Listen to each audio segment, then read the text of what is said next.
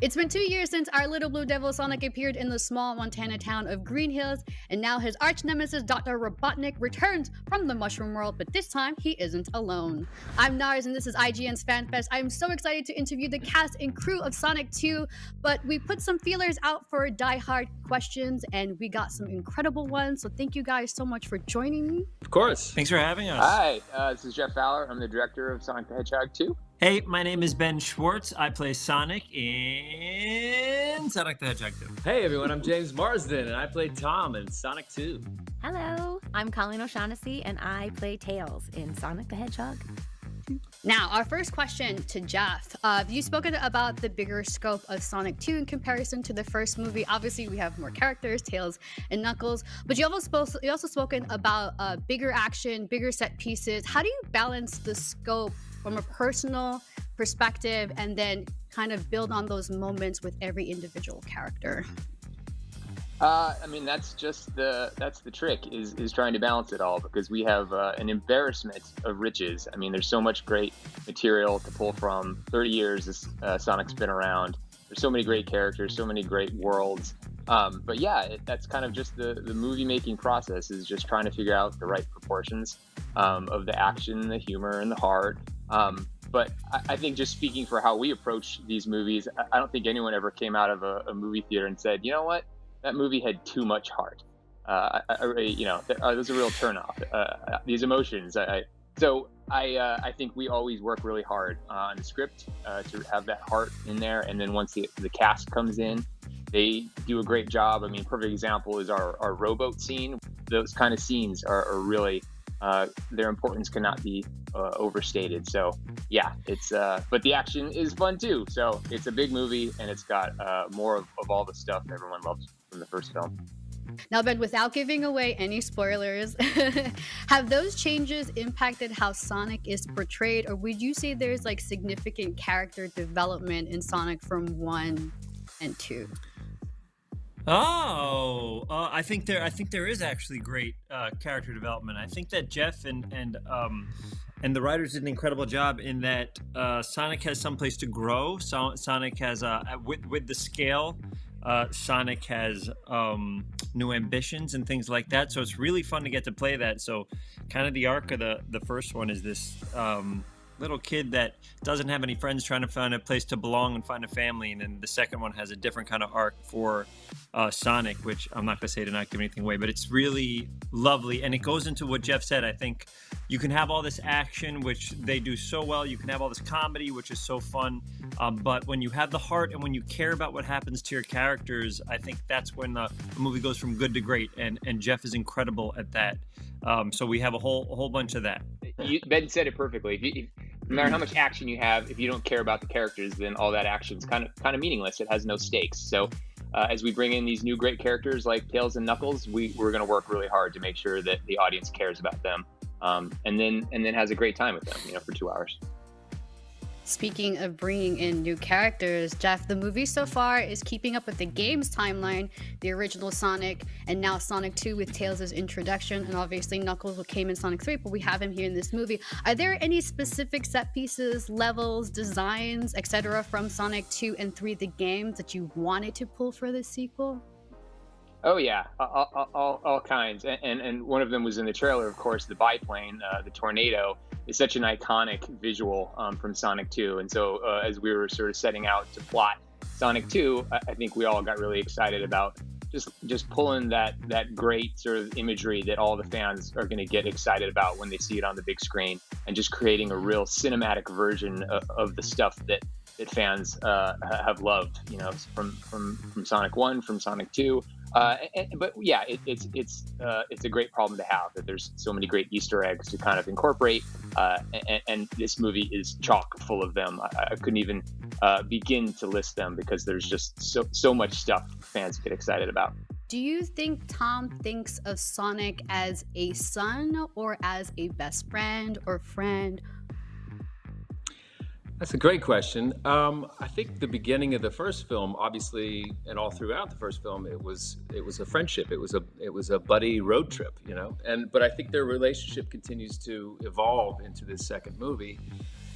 When you know Sonic is is part of the family now. He's moved in and and um, and he's getting a little too big for his britches and maybe a bit ahead of his skis a little bit, and he needs somebody to kind of come in and um, you know uh, maybe I think it's something that like yes, it's starting to evolve into more of a parental uh, relationship.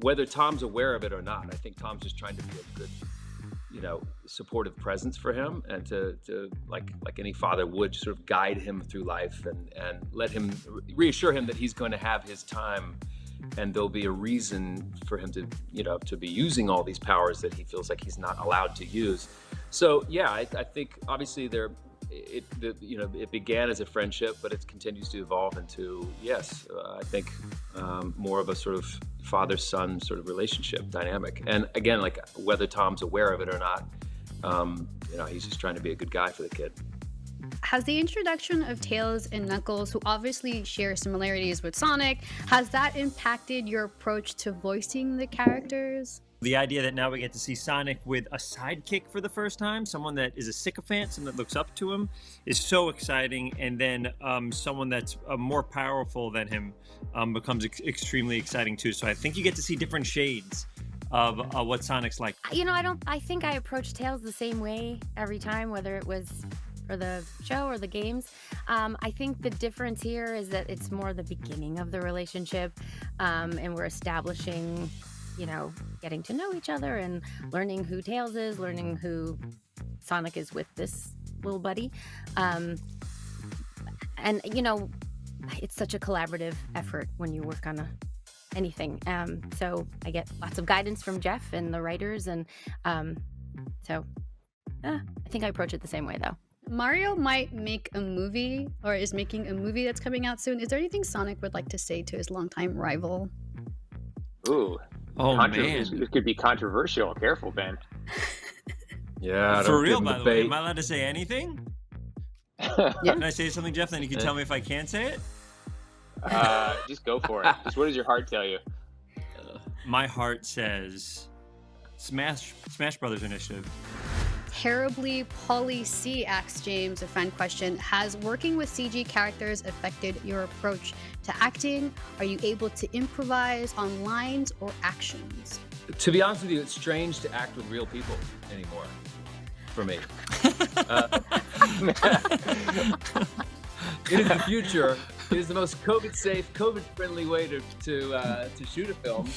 Um, I've done a couple of films uh, that are this model, which is a mix of live action and animation, and um, been very lucky to sort of figure it out along the way. Um, you know, it's definitely technical. Like you, you know, you have to kind of map everything out before you have to have a clear understanding of what the scene's about. You know, and uh, Ben and I have gotten to be, you know, very close, much closer than he felt comfortable with um, as Mhm. friends during this process. But it was important because they were shooting all of my stuff first, and and then you know it'd be sent back to Ben, and he would have to kind of fill in the gaps. So we got a good sense of uh, each other's you know sense of humor and sensibilities and and um, you know, so that's that's always a good thing i think that's really important to know you know if i come up with something on the day you asked about like improvisation you know i know i got to know that ben's going to understand what i'm doing or where i'm going with it. You know, the animators come in and do their thing with Sonic, but but if but if the if the cast if they're not sort of making the scene feel real or the the the uh, you know the conversation between Sonic and Tom that just if it, if it feels uh, if you feel the technical nature of it, then it's just not going to work. And, and James has always just given us such great material to, to work with, and, and the animators, uh, you know, then, then come in and, and, and, and put it all together. But uh, but yeah, it, it's incredibly challenging. So it's it's one of those things that, that I cannot say enough uh, wonderful things about James Right. and, and all the cast because everyone everyone has to deal with that that same technical challenge. It is a challenge, and these days especially, we are alone. We have a voice in our head, and that's directing us, and then uh, the, the microphone. So it's it is it's challenging. We don't have makeup, we don't have costumes, we don't have sets, we don't have props. We you know, so you have to create everything with just your voice coming through a microphone. You don't even have your face. So um, it is. It's it's challenging, but it's something that you know it's a skill that you can develop, and all those acting 101 you know sticking points they're they're there you know who are you talking to what's the situation um, you know, what in this situation, what would this character do? Where has he been? Where is he going? Who's he talking to? So, um, you know, you got to hang on to all those acting chops from a million years ago and just throw them into the ether. What about you, Ben? Uh, first of all, way easier to not have James there. Uh, it's a waste of time to have him around me. So way that. easier to do without him. Absolute piece of garbage. Like uh, you know, bologna sandwich, no bread, uh, no condiments. Uh, like acting with styrofoam. So for me to do it by myself is a huge, huge help. Uh, but I will say, so I've been doing voiceover since 2005, so 17. Oh my goodness, I'm getting so old. So like 17 years. And the thing that I've learned from deciphering between the two is that exactly what Colleen said, and Colleen is obviously a hero of this. Um, uh, uh of, of the Sonic franchise in every form, um, is that because you don't see our faces, and even though sometimes they put dots on my face and they put a bunch of cameras there, you have to act out what your face is kind of doing. You almost have to give it a little bit more. You almost have to uh, like to give the animator something to play with, or to kind of give them a path and what you're feeling and emoting uh, it's, it's a skill set. It's a it's a really uh, interesting and wonderful skill set. Colleen, I have a question, fan question from Remy the Chipmunk. Having voiced Tails for numerous IP, what was it like stepping back into this role again? Stepping into Tails is really comfortable for me. I just love him to pieces, and I've been doing. I think I've been voicing him for seven, maybe eight years now. So I I can easily step into those shoes. This was definitely a different experience as far as you know. It, it was a more grounded performance. Um, there are definite moments in the film that are different than what Tails has experienced before. Um, but I, I do, I feel very comfortable. I just love him so much. He's this, this, this little piece of me right here that um, I can just, you know, pick him up and off we go. Stacey wants to know how did you land the role of Sonic? It kind of started at the very beginning. I had a meeting with Tim Miller, who's a producer on this movie. I had it was something else, and right next to him at Blur was Jeff Fowler, and they said we're going to go out with um, uh, we're gonna go out with Sonic because it didn't have a home yet, and they were telling me about it, and I told them how much you know I love voiceover, and told them about stuff I was doing, and they said maybe one day we'll have you help out a little bit, and so they called me to do just a test scene, which is a five-minute scene that Jeff was gonna direct, that was uh, eventually gonna go out to all the studios, and then if the studios liked it, they would hopefully say we do Sonic, and it was kind of like a freebie deal, and that I was told that you know it doesn't mean you're gonna be the person, uh, just would you help us out and do us a favor, and I love the IP so much, and I love the character so much that I said Yes, of course. And we did it, and Jeff did an incredible job making that um, test video. And if, if it wasn't incredible, he wouldn't have been able to uh, do it. And then Paramount bought it, and then I think they went through the process of maybe going through the very famous people of who maybe could take on Sonic, and they kept going back to that. They kept going back to that test scene, right, Jeff? Yep. And then we had it right. And then we had it right the from end, the start. And when I did it, he loved the way I delivered it and felt like that's the way that Sonic in the film should be delivered. And then I remember I waited man, like eight months or something. And then they finally, I got a phone call from Jeff. I know exactly the street I was on in Burbank. I was just doing a VO thing and I was coming off, and he told me while I was walking down, I know the sidewalk I was on when he finally said, You're going to be Sonic. And I was like, I did that ER move at the beginning of ER where he goes on his knee and he goes like this. uh, from the opening sequence in ER. I was so excited there was no money at the beginning. It was just a favor, but I believed in Jeff and I loved the project so much that I would do whatever they wanted. And it ended up that they had uh, given me an incredible opportunity afterwards. So our final fan question comes from Elfon TV, and Elfon wants to ask Jeff, Jeff, are we going to see a Sonic 3?